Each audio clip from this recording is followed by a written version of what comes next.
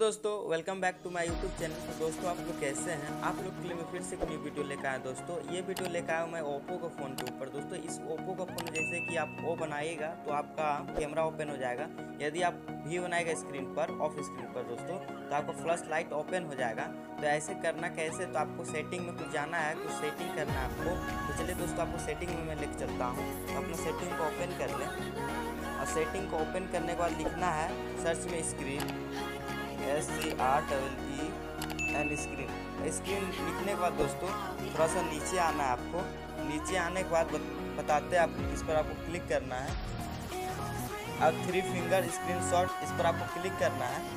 और इस पर क्लिक करने का जो फ़र्स्ट में शो हो रहा है, स्क्रीन ऑफ़ गेस्टर्स, इस पर आपको टैप कर देना और टैप करने के बाद यहाँ से इनेबल कर देना दोस्तों आपको। और इनेबल करने के बाद यहाँ देख सकते लिखा हुआ है, double tap to turn screen on मतलब स्क्रीन पर दो बार ऐसे टैप क्लिक करोगे तो आपका स्क्रीन ऑन हो जाएगा। तो उसको यहाँ से इनेबल कर लेना है। और फिर यार draw O to enable camera वो जैसे बनाओगे ना तो आपका कैमरा ओपन हो जैसे मैंने वीडियो का फ़र्स्ट में कहा था तो इसको भी आपको यहाँ से इनेबल कर लेना। और draw V to turn on flash light तो इसको करोगे तो आपको फ्लश लाइट भी ऑन हो जाएगा।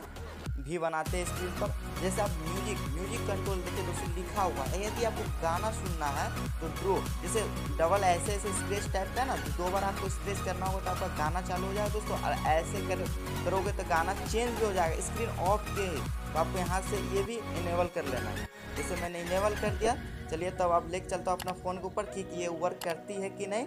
चलिए मैं आपको लाइव प्रूफ करके दिखाता हूँ कि ये वर्क कर रही है। जल्दी दोस्तों दिखा देता हूँ, मैं अपने स्क्रीन पर भी बनाऊँगा तो ये हमारा फ्लैश ओपन हो जाएगा। देखिए, भी बनाते हैं, हमारा फ्लैश ओपन हो गया। तो मैं आपको सेटिंग बता देता हूँ, जैसे मैंने बताया था कि आपको वो बनाते ही, आपका कैमरा ओपन हो गया तो देखते हैं हमारा कैमरा ओपन होता है कि नहीं। देख सकते हैं, मैंने ओ बनाया, हमारा कैमरा भी ओपन हो गया है। तो मैं और आपको कुछ सेटिंग बता देता हूँ। जैसे मैंने आपको बताया था, दो ऐसे स्क्रेच करेंगे तो म्यूज़िक ओपन होगा।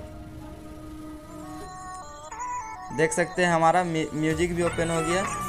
और जैसे मैंने बताया था, आपको ऐसे करने से म्यूज़िक भी चेंज हो जाएगा। अब देख सकते हैं, हमारा म्यूज़िक चेंज हो चुका है।